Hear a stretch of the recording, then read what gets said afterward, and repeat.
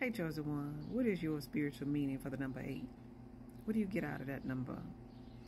And I know, first thing first, everybody gonna say prosperity, but there's more to number eight than the prosperity. What else is there? Do you know? Have you sat with that? We think about the eight and we think about infinity. We think about it prosperity.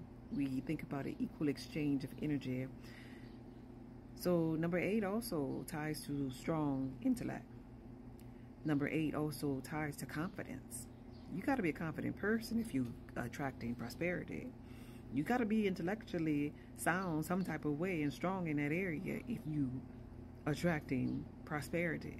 Something has to be intellectual about you. So chosen one, spiritually, the number eight is strong confidence, strong intellectually, and the ability to draw things to you as it pertains to prosperity. This video was from my heart to yours.